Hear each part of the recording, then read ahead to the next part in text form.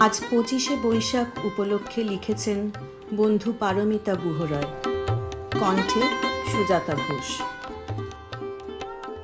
আজ পঁচিশে বৈশাখ, বাঙালি জীবনে এক উৎসবের দিন। কিন্তু জোড়াসাঁকো বা রবীন্দ্র সদন বা শান্তিনিকেতনে নেই সে উৎসব যাপনের প্রস্তুতি ও আড়ম্বর। সেজে ওঠেনি নবনালন্দার প্রাঙ্গণ। নেই কচি কাঁচাদের কলরব। নেই আজ স্কুলগুলোয় বিনম্র শ্রদ্ধা নিবেদন। তাহলে কি করে কাটবে দিনটা?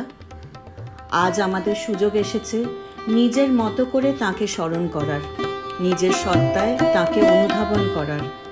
নিজের বেসুরো গানেই না হয় নিজের অস্তিত্বের কতটা জুড়ে যে তিনি জড়িয়ে আছেন, তা আরও একবার বুঝে নেওয়া। শুধু আজকের দিনটি নয় আমাদের দৈনন্দিন জীবনের পথ চলায় প্রতিনিয়ত তার উপস্থিতিকে আমরা আমাদের সহজাত অধিকার বলেই মেনে নিয়েছি। বারবার করে জীবন যখন কঠিন পরীক্ষার সম্মুখীন করে, আমরা আশ্রয় নিই তার গানে, কবিতায়, গল্পে, অনুলিখনে। আমাদের জীবন, মরণ, মনন সব কিছুতেই তুমি। শুধু প্রণাম নয়, আমার সব ভালোবাসা Bagi.